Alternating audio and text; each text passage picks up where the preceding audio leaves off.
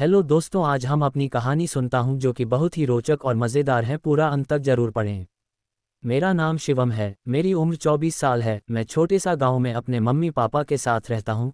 मेरे पड़ोस में एक आंटी रहती है, वो बहुत ही ज़्यादा खूबसूरत है। उनका नाम रागनी है, लेकिन फिर भी उनकी शादी बड़ी उम्र के मर्द से हो गई, लेकिन अपने पति से खुश नहीं थी। लेकिन वो बहुत ही ज़्यादा खूबसूरत थी और मुझे बहुत अच्छी लगती थी, लेकिन मेरी माँ को ना तो आंटी अच्छी लगती थी और ना ही मेरा वहाँ जाना अच्छा लगता था। एक दिन मैंने अपने पापा से कहा, पापा, मुझे आंटी की बेटी प्रिया बहुत अच्छी थी। प्रिया ने भी मुझे सब कुछ बता दिया था, मुझे तो इस रिश्ते से कोई भी तकलीफ़ नहीं है। मैं बहुत ज़्यादा खुश हो गया क्योंकि मेरा आधा काम तो हो गया था, बस मम्मी को मनाना था, फिर थोड़ी देर बाद आंटी ने कहा कि आज रात तुम यही रुक जा कि मैं तो शिवम को अच्छा लड़का समझकर अपने घर बुला लेती थी, सोचती थी कि अगर मैं कोई दूसरा मर्द रखती हूँ तो हमारी इज़्ज़त नहीं रहेगी।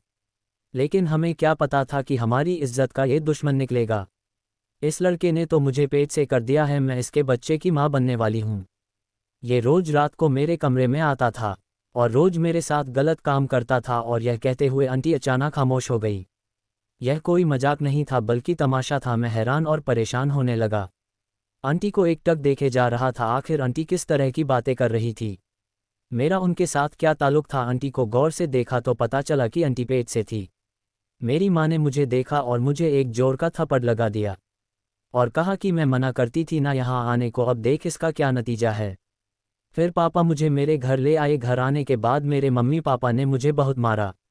आंटी का जब चेकअप कराया गया तो सच में वो प्रेग्नेंट थी। इस बात पर मैं सबसे ज़्यादा हैरान था कि प्रिया ने भी उनकी बातों में गवाही दी थी और उसने कहा था कि शिवम हमारे घर आता था और ज़बरदस्ती के साथ हमारे साथ ये सब कुछ करता था।